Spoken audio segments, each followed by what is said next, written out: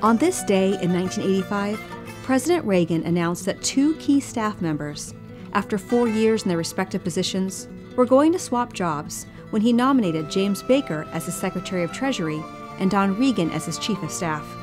In 1981, while James Baker was at a conference in Cancun, Mexico, on behalf of President Reagan, he was gifted this silver plaque with an eagle and serpent design, both of which are symbols of Mexico. It was a gift from Jose Lopez Portillo, the President of Mexico. Because any gift to a federal employee over a certain value must be purchased by the individual to keep it, this gift was kept within the government and ultimately ended up in the Reagan Library archives.